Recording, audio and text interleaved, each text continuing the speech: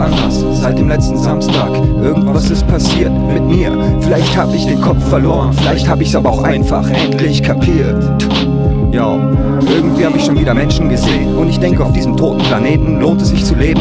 Kein Verbot für mein Reden und auch kein Zweifel an dem, was ich tu. Bin alt genug, unter Idioten bewegt, vergesse ich oft, für wen ich es tu.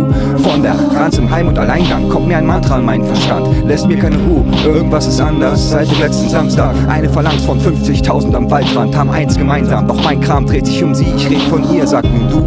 Ich weiß, Persönlichkeiten zeigen sich zu den richtigen Zeiten, im richtigen Geleit. Und wenn's dann schon nicht dämmert, bin ich wohl richtig behämmert, wenn ich immer noch sinnlos weiter schlender.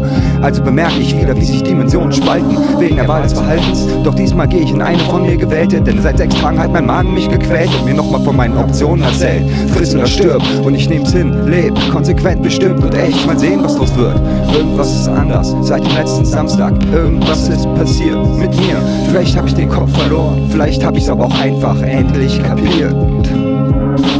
Irgendwas ist anders seit dem letzten Samstag. Irgendwas ist passiert mit mir. Vielleicht hab ich den Kopf verloren, vielleicht hab ich's aber auch einfach endlich kapiert. Kapiert.